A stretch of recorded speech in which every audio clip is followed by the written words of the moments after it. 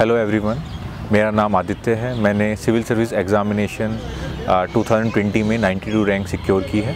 ये मेरा पांचवा अटैम्प्ट था, तीसरा इंटरव्यू था और सेकंड सिलेक्शन था। लास्ट ईयर मुझे इंडियन इन्फॉर्मेशन सर्विस एलोकेट हुआ था। यूपीएससी को लाइफ मत बनाइए। यूपीएससी हम आए हैं, हमें कुछ करना है देश के लिए, लेकिन यूपीएससी सब कुछ नहीं है। कितने लोग सिलेक्ट हो रहे हैं? क्या देश में, दुनिया में जो भी अच्छे काम कर रहे हैं लोग वो सब यूपीएससी वाले लोग कर रहे हैं। कितनी सीट्स हैं? कितने लोग आ रहे हैं? वो क्या सिर्फ़ इसमें नॉलेज ही मैटर करती है? बहुत सारी चीज़ इसमें फैक्टर में काम करती है। आप अपना बेस्ट दीजिए बेस्ट लगाइए कंपेयर मत करिए सेल्फ डाउट मत रखिए। लेकिन प्लीज़ यूपीएससी में अगर आपका नहीं हो पा रहा है, कुछ भी गलत हो रही है प्लीज़ कोई भी एक्सट्रीम स्टेप खासकर सुसाइड जैसा, कुछ नेगेटिव हार्म मत पहुँचाइए। आप ये सोचिए कि आप कुछ सालों की फेलियर की वजह से इतना एक्सट्रीम ले लेते हैं। अपने माँ बाप के बारे में सोचिए।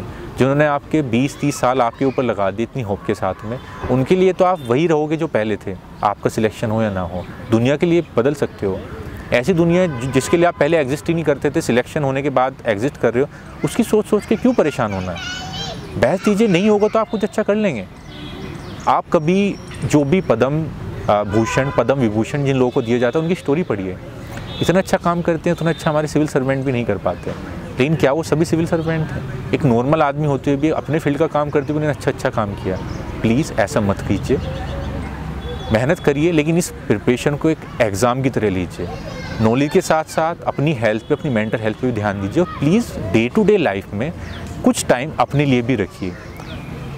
ये सोचने के लिए कि मुझे क्या प्रॉब्लम है ये सोचने के लिए मैं क्या कर सकता हूँ और मोटिवेट होने के लिए कुछ अच्छी हैबिट्स भी पालिए